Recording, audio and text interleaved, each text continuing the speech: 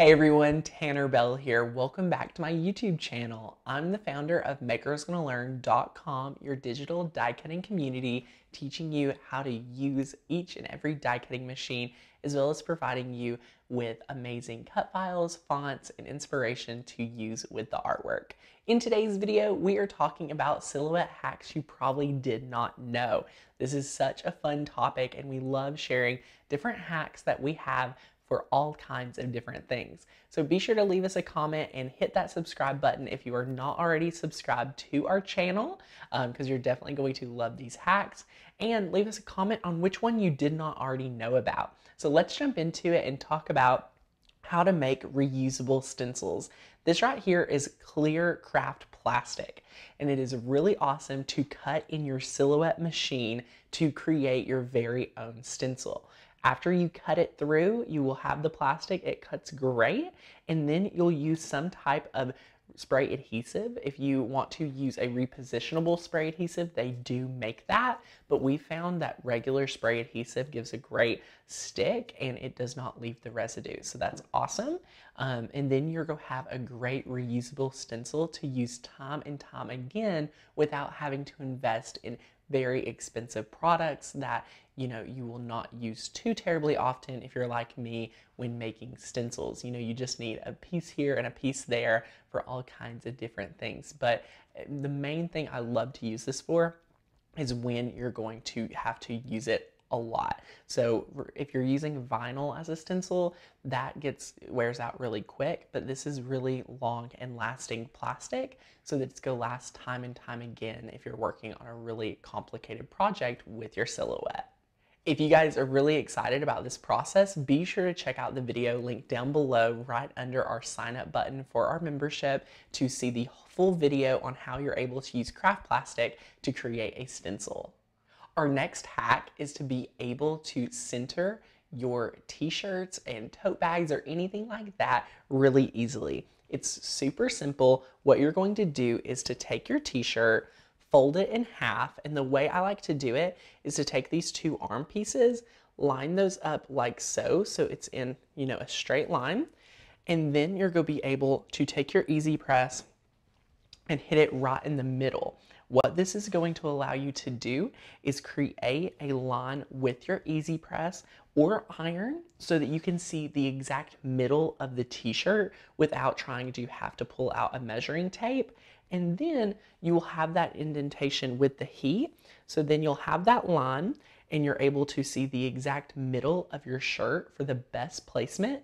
And then what I like to do is pull out a measuring tape and go roughly three inches from the bottom of the shirt. It is a great tip, especially if you are going to be making lots of different t-shirts so that you're able to get great results every single time. And it is really easy to do, especially if you have an easy press and you are going to make a lot of tote bags, t-shirts, baby onesies, anything like that is going to be perfect. And we have a whole video on giving you tips and tricks on placement. So if you need help on that, check out that video link down below as well, because there's lots of tips and tricks involved in that video. Number three, weeding on the mat. You are going to want to make sure all the time when you're using your silhouette that you weed on the mat. It is the easiest way to have a third hand without having to involve anyone else in your crafting. It keeps your image positioned down onto your craft surface. That way you can focus in on really diving into the project and weeding it out.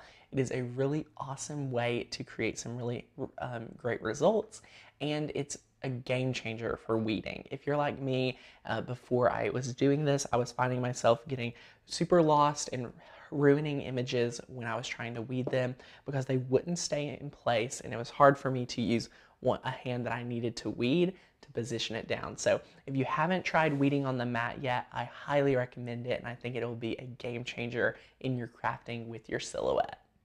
The next hack is reverse weeding. Now, if you are not already familiar with reverse weeding, again, there's a great video that Rachel has created right down in the description to teach you all you need to know about reverse weeding. We recommend it for any complicated project because it is going to secure your image down onto transfer tape first and then you're going to be able to weed it reverse. So you're going to be weeding out all the pieces that you do not need after you transfer it all to transfer tape. It's hard to give you that visual, but I promise it is there. So be sure to click that link down below in the description that is talking about reverse weeding because it is a game changer. I was on the fence about it, but once you actually try it, it is really great to be able to change up your crafting with the silhouette. And for me, it actually made me feel more comfortable to do even more intricate designs with my machine.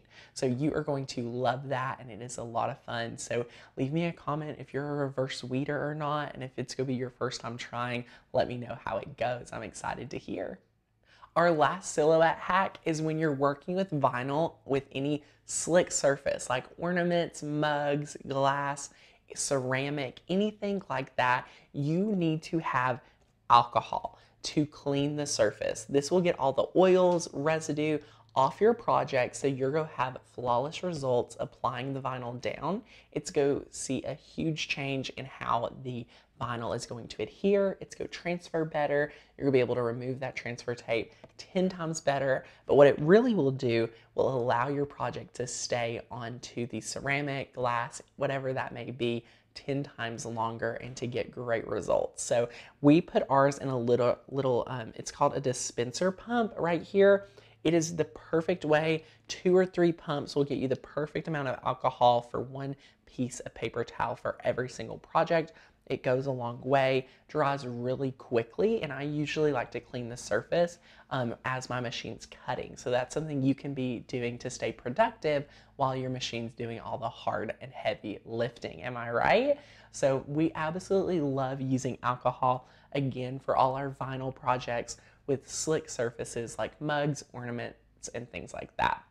If you guys enjoyed this video, be sure to give us a thumbs up. We are super excited about diving into more silhouette training videos. So head over to the channel, check out our silhouette um, training category and playlist all of our cut files and everything in our membership works great with your Silhouette machine. So be sure to check that out as becoming a member in the first link down below. If you are new to our channel, welcome, welcome, welcome. We are so excited to have you. So hit that subscribe button and leave us a comment. And we are so excited to see you in the next video. Thanks for watching, guys. Bye.